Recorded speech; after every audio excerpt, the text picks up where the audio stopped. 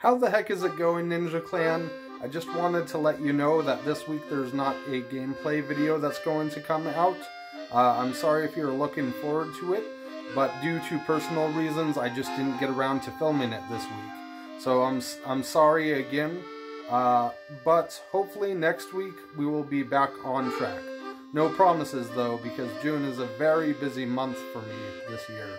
So uh, hopefully next week we will be back to our regular schedule. But I hope everyone is having a great day. Stay healthy, stay safe, and I'll see you next video.